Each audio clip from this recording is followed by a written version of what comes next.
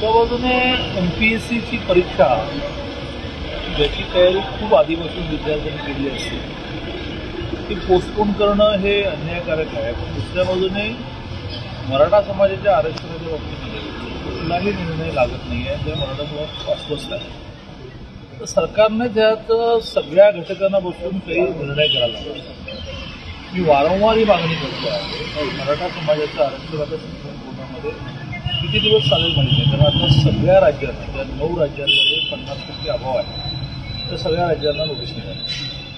ती जी एकशे दोन बी घटना दुरुस्ती आहे ती महाराष्ट्राला लागू असणार की नाही त्याच्यावर डिबेट होणार अशा परिस्थितीमध्ये किती काळ लागेल माहीत नसताना तुम्ही सारख्या परीक्षा प्रश्न घेऊन राहिला. तर त्याला उत्तर असं आहे की जे उत्तर देवेंद्रजी फडणवीस मुख्यमंत्री असताना काढलं होतं की जोपर्यंत आरक्षण मिळत नाही तोपर्यंत ओबीसीचे सगळे लाभ मराठा समाजाला देणं हा एक मार्ग आहे. दुसरा मार्ग असा आहे की जो व्हॅलिड मार्ग आहे जो अनेकांनी सुचवलेला आहे तर त्याची कागदपत्र कॅल्क्युलेशन केलं पाहिजे की सगळ्या सीट्स दहा टक्क्याने वाढवायच्या.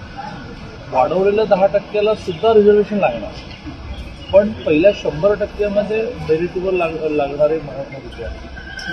दहा टक्के वाढवल्यामुळे मराठा समाजामधले सिलेक्ट झालेले अशी संख्या ही आठ टक्के दहा टक्के अकरा टक्के बारा टक्के आहे ते मराठा समाजाला नीट लागून दिलं पाहिजे आणि हे म्हटलं पाहिजे की केस आपण सगळे नीट चालू पण तोपर्यंत ह्या रिलीज असं नाही झालं तर मग मराठा समाजाला काय वाटतं की तुम्ही एक एक एमपी पैसे घेऊन ज्या रिकाम्या जागा आहेत त्या भरून टाकणार. आणि मग मराठा समाजाला आरक्षण दोन वर्षांनी सुप्रीम कोर्टामध्ये येत नाही यातला सरकारचा रोल जो आहे तो महत्त्वाचा आहे